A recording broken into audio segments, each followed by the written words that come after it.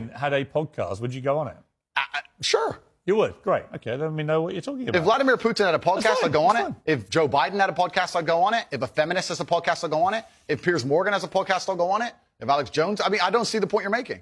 There's no point here. You're just you're digging, but there's nothing to find. well, I'm not. I'm taking your position that if somebody shows you respect, you respect them. I think that I'm saying there are lots of people in the world I do not respect. If Vladimir Putin showed me respect, I would not respect him. that's your opinion. But No, you- no, it's my view. What's your view? okay, your that's view? your view. Well, you're Your sitting, view is you would. you're sitting here, Piers, saying that I'm on uncensored show.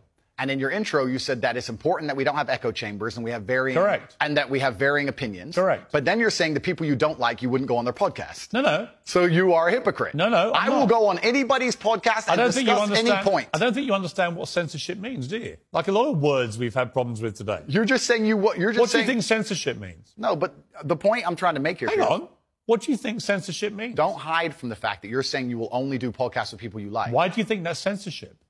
No, that's your that's your prerogative. My prerogative is I'll What does dis- it do with censorship? I'll discuss I'll discuss opinions with anybody, and I've done hard left wing. Why are you not asking me about the podcasts I've done for the people who are hard liberal By the left way, wing? I don't care whether they're left or right. Okay. Extremists to me are all nuts, right? Then we agree. Yes. So perfect. Good. Next subject.